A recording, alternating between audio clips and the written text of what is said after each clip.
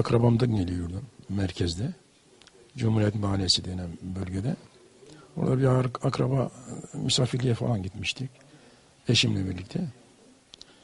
İşte e, beşten sonra e, yani daha önce eşim gitmişti. Ben beşten e, iş yerinden çıktıktan sonra, kurumdan çıktıktan sonra gittim eşimi aldım. Beraber yürüyerek geldik. Yürüyerek geldik. Tam işte bu yeni hastane yapılan, Toki tarafında yapılan bir hastane var. O bölgeye geldiğimizde işte hiç bilmediğim bir şey yani bir alev topu üzerimize geldi.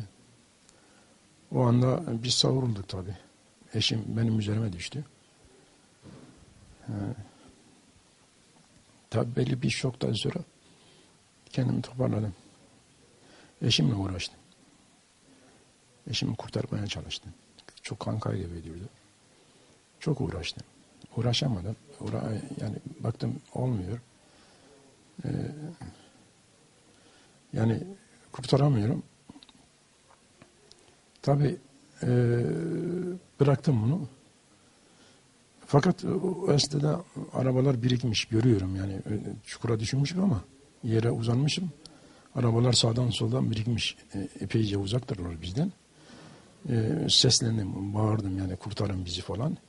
Gelin herhangi bir şey yok falan. Kimse e, gelmedi. Tabi haklı olarak insanlar da biraz e, çekiniyor tabi. O arada tabi mermiler patlıyordu. Üzerimize, yanımıza, sağımıza, solumuza düşüyordu.